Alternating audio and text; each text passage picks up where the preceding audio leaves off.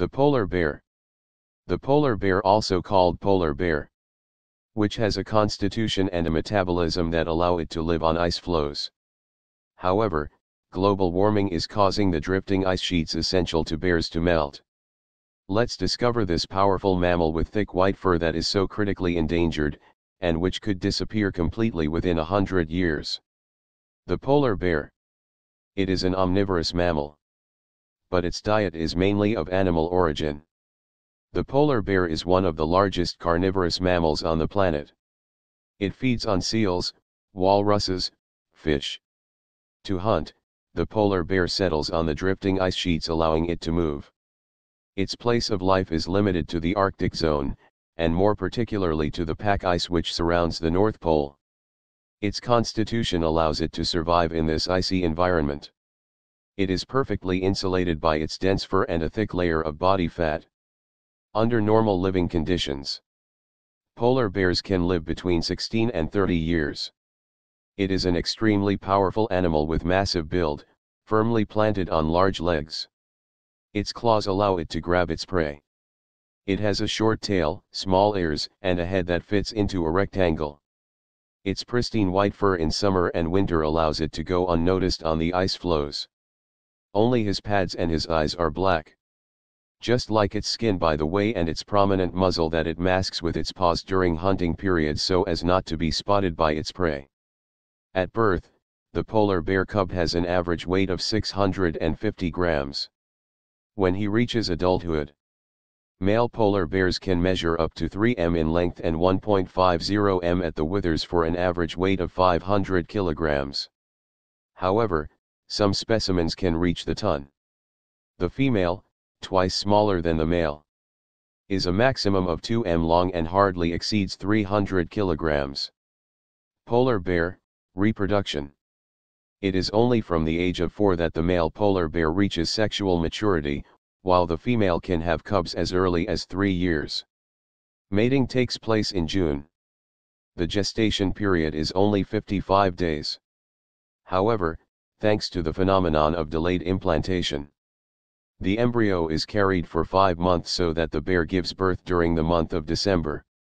She only carries two little ones at the same time and can start a new family only once every three years. From birth to the age of four months, cubs breastfed by their mother are confined in a den. Then at the end of this period they discover the outdoors, still in the company of the bear. She teaches them how to dig a den. To use drifting plates to hunt and feed. This education lasts about three years. After which the young bears, now autonomous, leave their mothers thanks to the high fat content of breast milk. Bears grow considerably in their first years of life. The polar bear is an endangered species. The polar bear has fallen victim to melting sea ice in the Arctic Ocean so much that it is now on the red list of endangered species. This animal has a metabolism perfectly suited to life on ice. But polar bears cannot survive long without ice. According to studies conducted, there is much to fear that these endangered species will completely disappear in less than 100 years.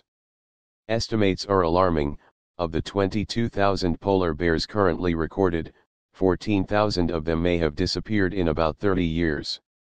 Rising temperatures negatively affect seals, which are part of a polar bear's diet for prolonged fasting periods. In addition, a long-term traveler.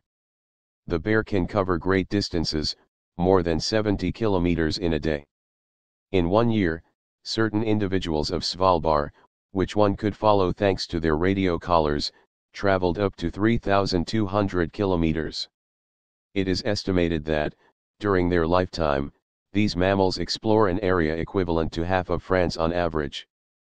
But some stay for years in the same region. The search for food is not the only cause of their movements. Thus, when the ice melts in summer, bears follow the retreat of the pack ice to the north. In winter, on the contrary, they head south. In the fall, females undertake long journeys to traditional birthing areas. They dig their own dens in snow banks and stay there for nearly five months. Living in lethargy on the reserves accumulated during the previous months. but their body temperature hardly drops more than 5 degrees Celsius. And they can awaken if disturbed. During this long sleep, they only rarely urinate and defecate. Or swallow their feces, which keeps the den clean. Apart from the brief period of spring matings. The two sexes live apart. During the Arctic summer, which lasts only two months. Some bears do not go north. But remain on the coasts, especially in Hudson Bay, Canada, where they lead an indolent life. In search of the meager pittance offered by the tundra after the thaw. They can then penetrate up to 150 kilometers inside the sparse forests of the north. But it is exceptional. Sterile males and females spend the winter on pack ice or coastal ice, in areas where seals are plentiful. The youngest and the oldest hibernate, a few days or a few weeks, never more than two months, in dens similar to those of the females. In the tundras of Ontario and Manitoba, Hudson and James Bay, summer dens, Simple excavations dug to permafrost, ground level always frozen, have also been reported to keep cool. The Chin,